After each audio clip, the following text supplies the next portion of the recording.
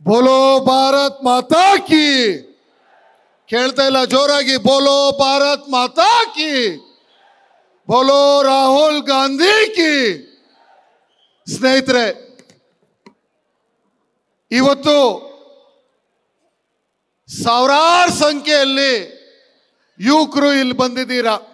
ನಿಮ್ಮೆಲ್ಲರಿಗೂ ಕೂಡ ನಾನು ನಮಸ್ಕರಿಸ್ತಾ ನನ್ನ ಮಾತನ್ನು ಶುರು ಮಾಡ್ತೀನಿ. ವೇದಿಕೆ ಮೇಲೆ ಅನೇಕ ಜನ ನಾಯಕರುಗಳಿದ್ದಾರೆ. ಯಾರ ಹೆಸರು ತಗೊಳಕ್ ಹೋಗಲ್ಲ ನಾನು.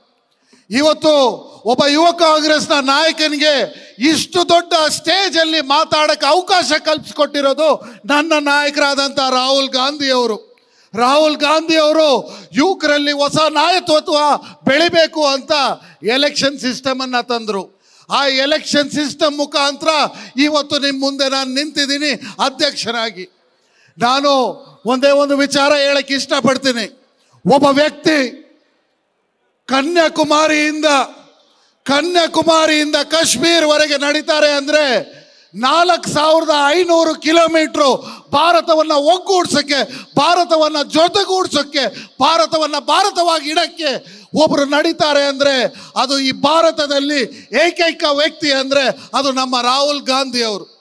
ರಾಹುಲ್ ಗಾಂಧಿ ಅವರು ಇವತ್ತು ನಮ್ಮನ್ನ ಎಲ್ಲರನ್ನೂ ಕೂಡ ಸಮಾಜಗಳ ಮೇಲೆ ಬೇರೆ ಬೇರೆ ಮಾಡ್ತಾ ಇದ್ದಾರೆ. ಇವ್ರು ಹಿಂದೂ, ಇವ್ರು ಮುಸ್ಲಿಂ, ಇವ್ರು ಕ್ರಿಶ್ಚಿಯನ್, ಇವ್ರು ಮರಾಠಿ, ಇವ್ರು ಕನ್ನಡ, ಇವ್ರು ಹಿಂದಿ ಅಂತ. ಆದರೆ ನಾವೆಲ್ಲರೂ ಕೂಡ ಭಾರತೀಯರು, ನಾವೆಲ್ಲರೂ ಕೂಡ ಒಂದು, ನಾವೆಲ್ಲ ಜೊತೆಗೂಡಬೇಕು, ಭಾರತವನ್ನು ಭಾರತವಾಗಿ ಇಡಬೇಕು ಅಂತ ರಾಹುಲ್ ಗಾಂಧಿ ಅವರು ಭಾರತ್ ಜೋಡೋ ಯಾತ್ರೆಯಲ್ಲಿ ನಡೆದು ನಾನು ರಾಹುಲ್ ಗಾಂಧಿ ಅವ್ರ ಜೊತೆ ಕರ್ನಾಟಕದಿಂದ ಹಿಡಿದು ಕರ್ನಾಟಕದ ಆರಂಭದಿಂದ ಕೊನೆ ತನಕ ಐನೂರ ಎಪ್ಪತ್ತು ಕಿಲೋಮೀಟರ್ ನಾನು ಕೂಡ ನಡೆದೆ. ಆ ಐನೂರ ಎಪ್ಪತ್ತು ಕಿಲೋಮೀಟ್ರಲ್ಲಿ ನಾನು ನೊಂದೋದೆ ಟಯರ್ಡ್ ಆದೆ, ಕಷ್ಟ ಆಯಿತು. ಆದರೆ ನನ್ನ ನಾಯಕರು ನಾಲ್ಕು ಸಾವಿರದ ಐನೂರು ಕಿಲೋಮೀಟರ್ ನಡೆದ್ರೂ ಕೂಡ ಕುಗ್ಗಿಲ್ಲ ಇದೇ ತುಮಕೂರಿನ ಹತ್ರ ರಾಹುಲ್ ಗಾಂಧಿ ಅವ್ರು ನಡ್ಕೊಂಡು ಹೋಗುವಾಗ D K sir, Rahul Gandhi ಅವರು ಪಕ್ಕದಲ್ಲಿ ನಾನು ಕೂಡ ಇದ್ದೆ ಹಿಂದೆ. ಒಬ್ಬ ಮಾಧ್ಯಮದ ಸ್ನೇಹಿತರು ಬಂದು ಅವ್ರ ಹತ್ರ ಕೇಳಿದ್ರು ರಾಹುಲ್ ಜಿ ಯಾಕೆ ನಡೀತಾ ಇದ್ದೀರಾ? ಯಾಕೆ ಇಷ್ಟು ಕಷ್ಟಪಡ್ತಾ ಇದ್ದೀರಾ? ಅಂತ. ರಾಹುಲ್ ಜಿ ಹೇಳಿದ್ರು, ನಿಮ್ಗೊಂದು ವಿಚಾರ ಹೇಳಕ್ಕೆ ಇಷ್ಟಪಡ್ತೀನಿ. ಒಂದು ಮನೆಯಲ್ಲಿ ಒಂದು ಮನೆಯಲ್ಲಿ ಒಬ್ರು ಹುಟ್ಟಿದ್ರೆ ಎಷ್ಟು ಜನ ಸಂತೋಷ ಪಡ್ತಾರೆ?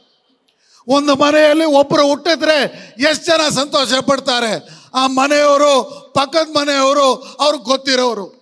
ಒಂದು ಮನೆಯಲ್ಲಿ ಒಂದು ಸಾವು ಆದರೆ ಎಷ್ಟು ಜನ ದುಃಖ ಪಡ್ತಾರೆ? ಆ ಮನೆಯವರು ಮನೆ ಪಕ್ಕದ ಮನೆಯವರು.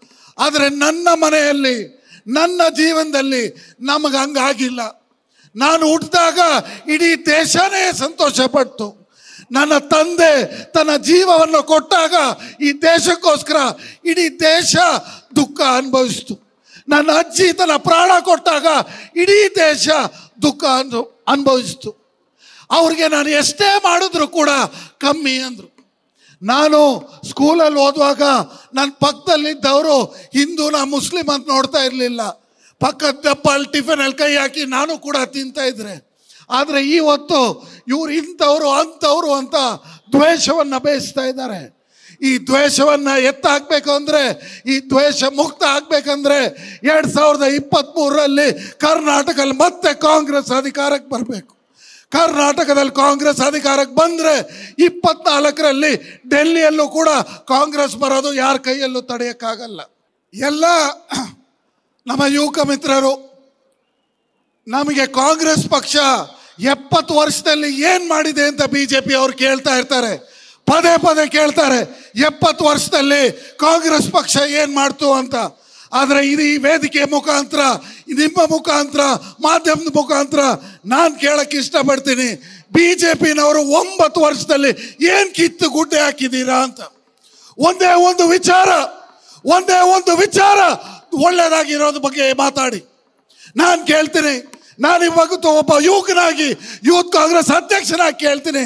ಮಾನ್ಯ ನರೇಂದ್ರ ಮೋದಿ ಅವರೇ, ನೀವು ಕೇಳಿದ್ರಲ್ಲ, ನೀವು ಹೇಳಿದ್ರಲ್ಲ, ವರ್ಷಕ್ಕೆ ಎರಡು ಕೋಟಿ ಕೆಲಸ ಕೊಡ್ತೀನಿ ಅಂತ. ವರ್ಷಕ್ಕೆ ಎರಡು ಕೋಟಿ, ಒಂಬತ್ತು ವರ್ಷಕ್ಕೆ ಹದಿನೆಂಟು ಕೋಟಿ. ಇಲ್ಲಿ ಕುಳ್ತಿದ್ದಾರೆ ನೋಡಿ ನನ್ನ ಯುವಕ ಮಿತ್ರರು, ಅಲ್ಲಿ ಕುಳ್ತಿದ್ದಾರೆ ನೋಡಿ ನನ್ನ ಯುವಕ ಮಿತ್ರರು ಯಾರ ಕೆಲಸ ಸಿಕ್ಕಿದೆ? ಕೇವಲ ಕನಿಷ್ಠ ಕರ್ನಾಟಕದಲ್ಲಿ ಎರಡು ಲಕ್ಷದ ಮೂವತ್ನಾಲ್ಕು ಸಾವಿರ ಸರ್ಕಾರಿ ಹುದ್ದೆಗಳಿದೆ. ಅದನ್ನ ಕೂಡ ಫುಲ್ಫಿಲ್ ಮಾಡಕ್ ಲಾಯಕ್ ಇಲ್ಲದೆ ಇರೋ ನಾಲಾಯಕ್ ಸರ್ಕಾರ ಕರ್ನಾಟಕದಲ್ಲಿದೆ. ನಲವತ್ತು ಪರ್ಸೆಂಟ್ ಕಮಿಷನ್ ಹೊಡೆಯೋದು ಬಿಟ್ಟು ಬೇರೆ ಏನೂ ಗೊತ್ತಿಲ್ಲ ಅವ್ರಿಗೆ. ನಲವತ್ತು ಪರ್ಸೆಂಟ್ ಕಮಿಷನ್ ಬಿಟ್ಟು ಬೇರೆ ಏನೂ ಗೊತ್ತಿಲ್ಲ. ಈ ಸಂವಿಧಾನವನ್ನ ತೀರ್ಚೋ ಬಗ್ಗೆ ಮಾತಾಡ್ತಾರೆ.